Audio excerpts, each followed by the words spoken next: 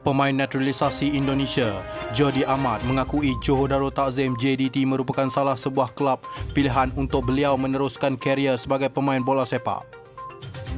Dalam satu temu bual di Indonesia, Jody menjelaskan beliau turut menerima tawaran daripada beberapa buah kelab lain selain JDT, antaranya kelab dari Spanyol dan juga Jepun.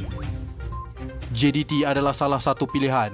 Saya juga mendapat tawaran untuk sertai beberapa kelab di Jepun dan Spanyol. Dalam pada itu, Jody Ahmad turut mengharapkan keputusan yang bakal dibuatnya adalah tepat dapat diterima ramai pihak.